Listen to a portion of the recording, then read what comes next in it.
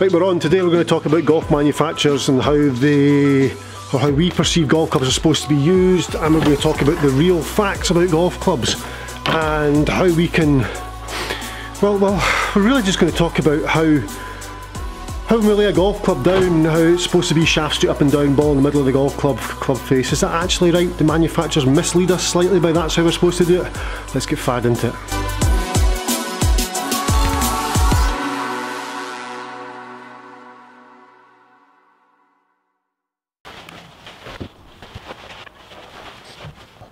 As I say, it's been a busy day. Uh, before we start talking about equipment technology, I'd just like to thank Steve Carr for coming up today. He drove two and a half hours, two hours 40 minutes from Yorkshire to come up for a Eureka lesson today. Brilliant, very well done, thank you very much. Right, equipment technology. Equipment technology, eh? What does it all mean? Equipment technology is one of the subjects that you um, study when you do your PGA degree down at the Belfry. Um, you do a three or four year degree. Young Jamie's down there just now doing his third year, and he's been getting taught about how the golf club works, and it's really interesting stuff. We all know there's a custom fitting process where we measure lie angle, loft, shaft flex, uh, grip size, you name it, it's all it's all in there. That's equipment technology, that's what Jamie will be learning this week, or supposed to be learning. Where he's not at the nightclub, on the resort. But hey, you've got to learn, eh? you've got to grow up and do that thing. We've all been there. Ian Poulter had a good night in that nightclub. So I'm about to address this golf ball. I'm going to put my club exactly, my club face. The face of my golf club and the golf ball in the middle of that face. That would make sense. There it is, right behind. Excellent. Take my setup. I've got my setup with my shaft straight up and down. So the club's sitting in its neutral position what manufacturers would class as neutral or as we're supposed to look at. We've got the club straight up and down, we've got the ball in the middle of the club face. What can go wrong? Well, there's a couple of things that could go wrong, but I'll hit one anyway. So that, look, that looks good there. Yep, shaft straight up and down. Excellent. Playing a shot, that's how we're supposed to do it.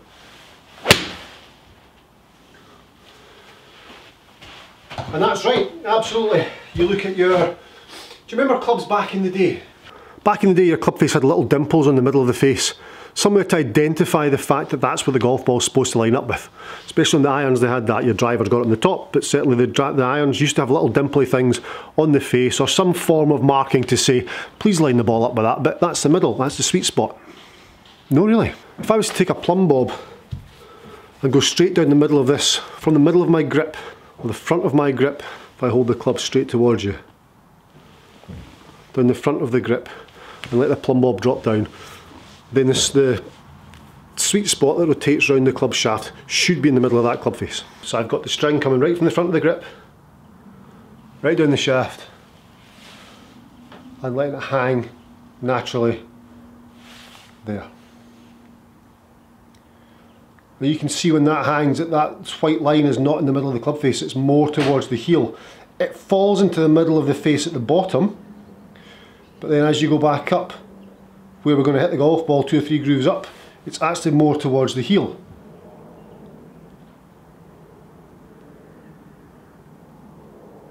So my sweet spot is actually here.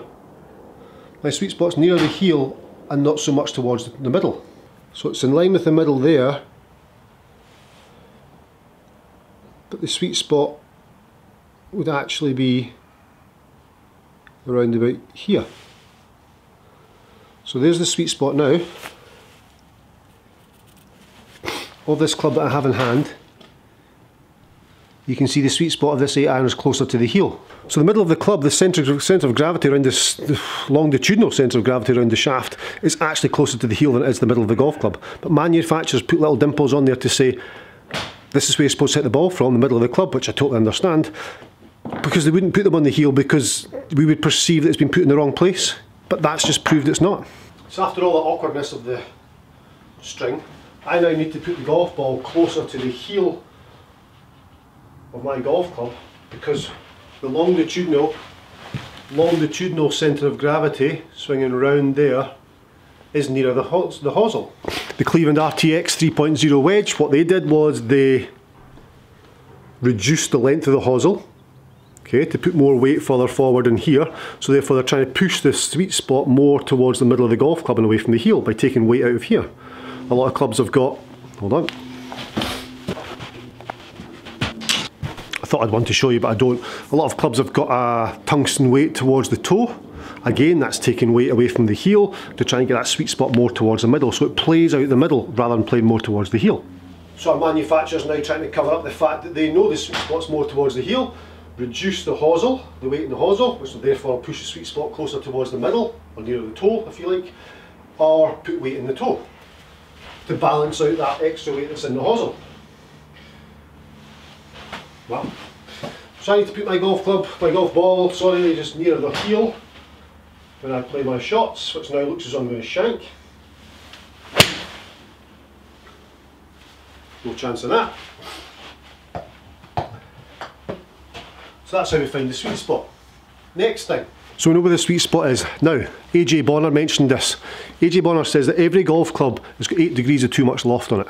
Okay, So every golf club, therefore, what he's saying is every club, as you see it, has 8 degrees too much loft. Okay, So therefore there's 8 degrees bounce, 8 degrees bounce in each golf club.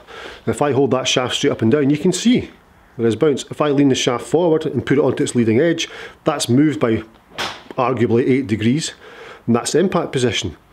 So why don't I start in that position and the ball near the heel? So I'm starting more, Bryson DeChambeau for example, starting more with the hands forward, forward shaft leaning on the leading edge, which is where he wants to return to impact, and also playing out of the heel. If I can do both those things, then I'm going to get the most out of the golf club. It's going to perform the best for me towards the heel and hands forward. So I'm there, so I'm more impact position and I'm more in the heel. As I come from the inside, I'm going to catch more of the heel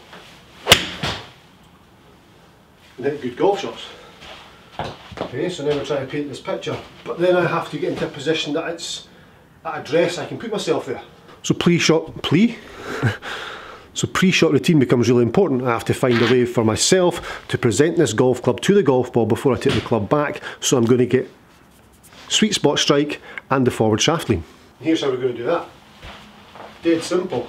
Club in line with target, okay, with the ball in the middle of the club face, not on the sweet spot that we already know. So not towards the heel, but in the middle of the golf club. The suggested sweet spot, like that. Ball in the middle, club face towards target, leading edge 90 degrees towards target. Take my address position, there. Now I've got my right hand on the golf club, what I'm going to do is I'm going to rotate the sweet spot around the back of the golf ball just slightly, just a fraction, just enough to get that club, probably about 8 degrees I imagine, just enough to get that shaft leaning forward and the handle of the golf club, so straight up and down, the handle of the golf club to head towards left thigh. So it's heading towards my left thigh up here. Then I can take the grip. So now it's sitting on its leading edge.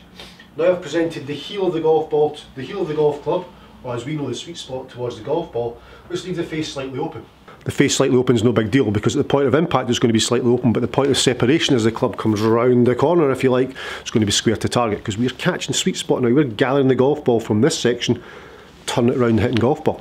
So manufacturers didn't tell us this because it wouldn't look right. I mean, looking down at a golf club with the sweet spot the, towards the heel, and then if they'd set the club up with the handle further forward on the head, I mean, nobody would sit it down and be comfortable. There, there, sweet spot rotating around the back of the golf ball, take my grip. That's me now perfectly ready to play the shot, returning back to that position of impact. Nice.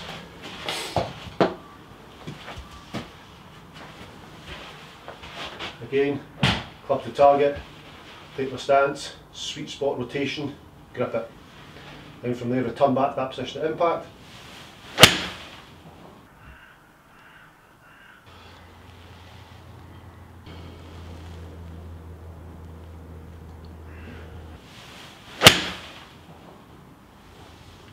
Guys, give that a try. So the sweet spot is near the heel. Okay, so get your golf ball right in the middle. Hold on. Get your golf ball right in the middle and then rotate the sweet spot around so we're presenting the heel or the actual sweet spot towards the golf ball and therefore we're putting the handle a little bit higher and we're sitting on the leading edge. So now we've got the golf club set up exactly how it needs to be at impact, so we can re-deliver it or return it back to that. We've got an impact fixed position, club back, bang, back to that position impact, using the middle of the golf club and the shaft in the manner it's supposed to be used. Manufacturers won't tell you that, as I mentioned. Who on earth, which company in their right mind is going to put a dot where that purple dot is and say that's where you're supposed to hit the golf ball? Nil.